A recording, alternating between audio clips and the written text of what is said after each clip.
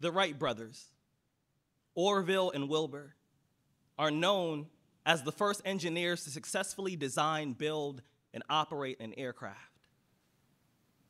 A letter from Orville to Wilbur the evening before their first flight.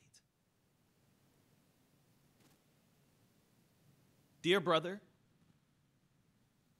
last week I overheard a joke. Someone said, uh, what do you call two men who think they can fly?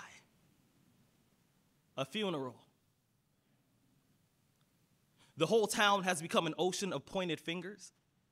People I once considered friends now just a tidal wave of unsolicited advice. They are trying to rinse the color out of our dreams. Yesterday, a lady from church pulled me aside, said if God wanted us in the sky, he would have given us wings. And I replied, Isn't that what imagination is?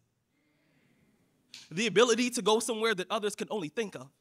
Brother, some people who have never tried to run a mile will tell you that a marathon is too far. Some people will try to talk you out of jumping into the water simply because they have always been too scared to learn how to swim. Fear is the process by which the brain digs all the faith out of the body and then calls that survival. Fear is when we turn up the volume on everything that might go wrong and then give it permission to speak louder than our courage. But for those, but for those, but for those who do not worship at the altar of panic, for those who will not sacrifice their ambitions to a demigod of worst case scenarios, for those who will not give up. Failure is just a short story they tell before they talk about success. And I know that it's been difficult. I know that it's been difficult. The miscalculations, the hours we put in, the time we spend away from our families. But when I walk outside, I can feel the ground getting jealous, like it knows that it can't keep us here much longer because we are destined for a higher calling. I, I heard what they said. They said it's impossible, but I say everything is until it's not. They called us stupid. I say, I say stupid and brave are just two sides of the same coin coin. The only difference is whether or not you guess correctly before the penny hits the floor. Tomorrow,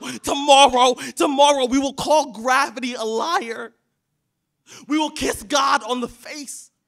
Tomorrow, I will look you in the eyes and I will say, I told you the wind feels different up here. What they say does not matter. When we are in the clouds, we won't even be able to see them, brother. I have a joke for you.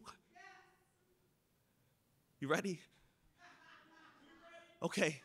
Uh, what do you call the first two men in the world who figure out how to fly? Legends. You call them legends. Get it?